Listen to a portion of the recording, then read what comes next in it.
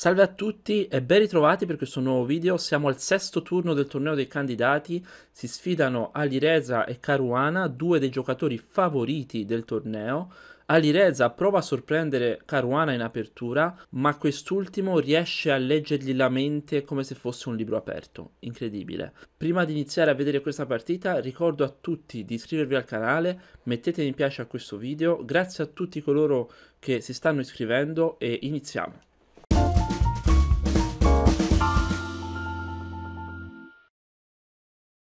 Ok, eccoci qui. Alireza gioca con i pezzi bianchi e inizia con uno D4. Caruana risponde con cavallo F6. Uh, eh, vi faccio notare che ormai a questi livelli cavallo F6 possiamo dire è praticamente l'unica risposta a D4. Infatti D5 è caduta completamente in disuso.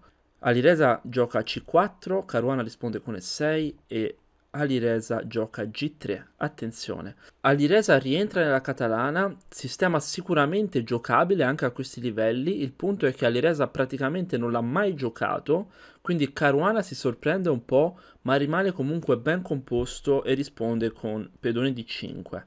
A questo punto Alireza gioca alfiere G2, segue alfiere 7 da parte di Caruana, rientrando nella catalana chiusa. Arriva a cavallo F3 preparando arrocco da parte di Alireza e Caruana decide di arroccare. Fin qui nelle prime 5 mosse i due stanno giocando a una velocità veramente impressionante, possiamo dire, per una partita a tempo lungo. Infatti pensate che hanno entrambi utilizzato meno di 50 secondi per eseguire le prime 5 mosse, quindi non ci riflettono neanche.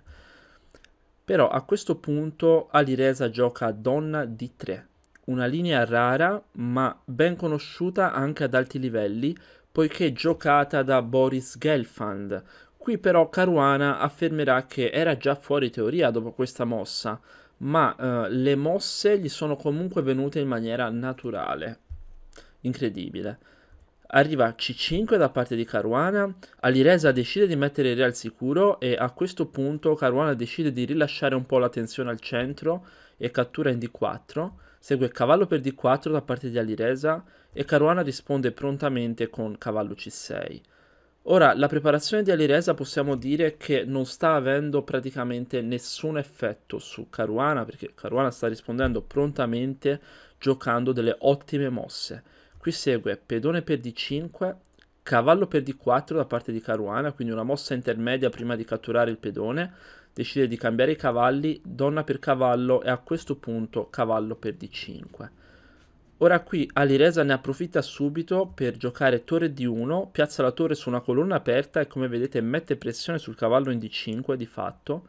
A questo punto Caruana però gioca alfiere f6, quindi guadagna un tempo sulla donna e possiamo dire che in questa posizione la posizione del nero sembra ottima a Caruana sì, deve ancora sviluppare l'alfiere campo chiaro, ma anche il nero deve sviluppare alfiere e cavallo, quindi diciamo che fino a qui Caruana non ha avuto nessun problema. A questo punto della partita però Alireza cerca nuovamente di sorprendere Caruana giocando una mossa molto strana, ovvero donna g4, ma comunque Caruana rimane calmo e gioca la mossa migliore alfiere d7. Incredibile la risposta di Caruana alla preparazione di Alireza, ragazzi. Ovviamente alfiere d7 per cercare di mettere l'alfiere in gioco giocando alfiere c6. A questo punto siamo alla dodicesima mossa, la posizione è completamente pari e Alireza inizia a pensarci. Ci pensa per ben 40 minuti e gioca cavallo di 2. Ora io dico, se tu giochi tutte le mosse molto velocemente, poi ad un certo punto inizi a pensarci, ci pensi tanto, 40 minuti, un tempo veramente assurdo, stai lanciando un forte segnale al tuo avversario, ovvero che hai finito le carte, non sei più in preparazione. Tutto questo secondo me gioca a svantaggio di Alireza, quindi Caruana qui era ancora più tranquillo ragazzi. Caruana risponde con un'ottima mossa, tra l'altro gli gioca donna e 7, collega le torri, toglie la donna dalla, dalla colonna D, quindi dall'attacco a raggi X della torre, Alireza qui ci pensa altri 10 minuti e gioca a cavallo F3 in una posizione comunque pari. Arriva a torre C8, come vedete Caruana gioca delle mosse molto naturali, piazza la torre su colonna aperta. Pedone 4 da parte di Alireza cercando di attaccare il cavallo, ma anche qui Caruana veramente mostruoso, gioca pedone 5, guadagna un tempo sulla donna con l'alfiere e solo poi successivamente può spostare il cavallo chiaramente. Quindi arriva donna H5, cavallo B4, questo cavallo in B4 può ritornare in C6 che è una sua casa naturale e può anche andare magari in C2 per giocare cavallo D4 Qui all'Iresa ci pensa altri 20 minuti e decide di giocare alfiere G5, rimanendo con meno di 18 minuti sull'orologio, una cosa veramente pazzesca. Siamo alla mossa 17, vi ricordo che non hanno incremento fino alla mossa 40, Caruana ha più di un'ora, Alireza ha meno di 18 minuti. Veramente incredibile ragazzi, Alireza voleva sorprendere Caruana, Caruana gli fa la lettura della mente, non lo so se è trasformato in un mago e eh, succede tutto questo appunto. Qui Caruana decide di catturare l'alfiere, arriva a cavallo per G5 minacciando scacco matto in H7, ma Caruana decide di giocare semplicemente H6 e di cacciare via il cavallo. Quindi a questo punto Alireza è costretto a ritornare in F3, attacca quindi E5, arriva cavallo C6 per difendere il pedone in E5 e ora arriva una mossa piuttosto strana da parte di Alireza, in evidente stato confusionale, era sotto pressione, con 11 minuti di tempo decide di sacrificare la qualità, un sacrificio molto dubbio.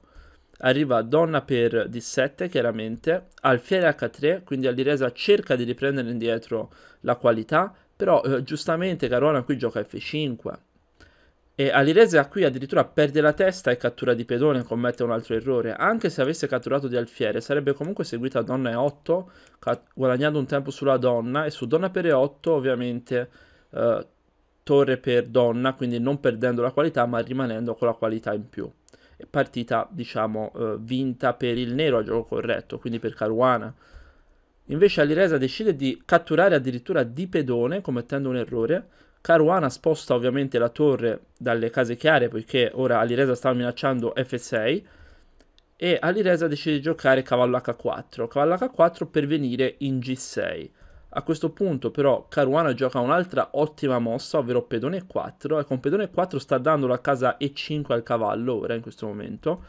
Quindi arriva a torre di 1, la Liresa cerca di portare l'ultimo pezzo in gioco, ovvero la torre, ma Caruana ne approfitta subito cercando di cambiare le donne. Chiaramente è in vantaggio materiale, più semplifica la posizione e più probabilità ha di vincere. Cerca di cambiare le donne, Alireza non le può cambiare e gioca donna e 2. A questo punto siamo alla 25esima mossa, Alireza ha meno di 10 minuti.